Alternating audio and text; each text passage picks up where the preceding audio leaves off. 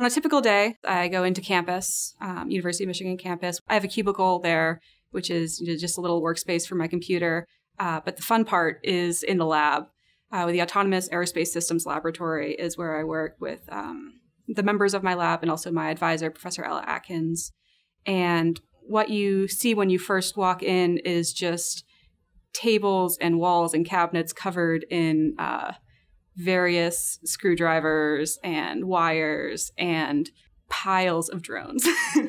so we have uh, along one of the walls, there's uh, four or five quadrotors that are just hanging there, uh, and they're about a meter across or a yard. It's about a length of an arm. Uh, and in front of those, we usually have an octocopter sitting, uh, which is eight rotors on it.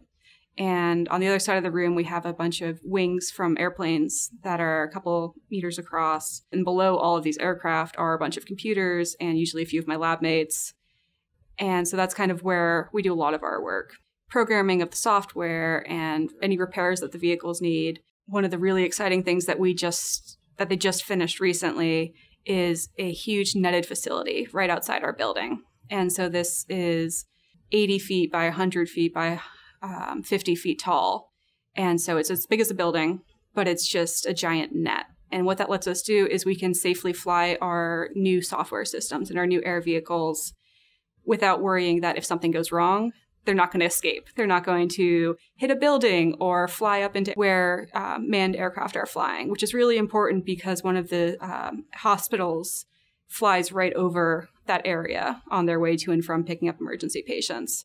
And so we'll start out in the lab, and then at some point somebody will say, "Okay, you know, let's go test." And so that involves us, you know, picking up whatever drone we're flying that day, usually a quadrotor or four, and we walk them outside and unlock the net, set out the drones, walk back out of the net, um, lock the door so that they don't escape, and from there we run the software from a little uh, pavilion that we have there, and we fly until we're done. And a lot of the times, depending on what kind of camera systems we're lo- using, we'll end up doing all of this at night. So it's uh, middle of the night and we're just flying drones around, moving them back and forth. Uh, we have huge lights in there. So it's really, it looks like daytime inside, but we're in control of that. It's definitely a very uh, fun process. And flight testing is really one of those things where you have something that you want to try, you go out, set the, set the vehicles down, start flying, and doesn't usually go to plan because you're testing something that's brand new that nobody's done before.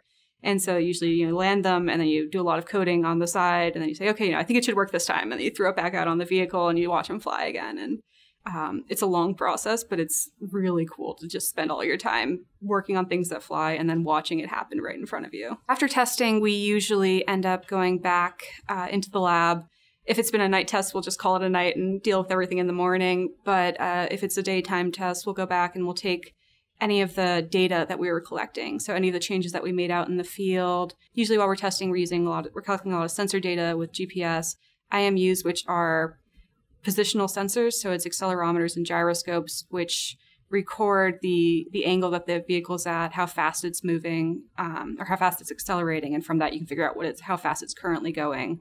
And so that just gives you information as to what the current angle of flight is for your vehicle. And so that combined with the GPS gives you a very good idea of what's going on with your drone at any point in time. And so with all of that information, we kind we do a we call it post processing where we look at all of that data and we compare it to what we meant to happen and what we were trying to fly and we see how close they are and based on how the intended intended paths and our detected paths are, then we can continue to improve the algorithms that we're do- that we're working with and generate graphs that show what exactly happened during those flights. And from there, we start it all over again the next day based on that data, improving. At the end of the day, I usually um, either head to the gym or go straight home and uh, hopefully cook a good meal for myself.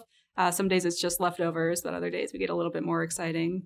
And uh, during the week, it's usually starts do a little bit of writing in the evening uh, because still in school, so there is still some homework expected of me. Uh, but uh, on the weekends, it's really great. I get to go out with friends, and a lot of uh, my engineering friends are all girls, which is great.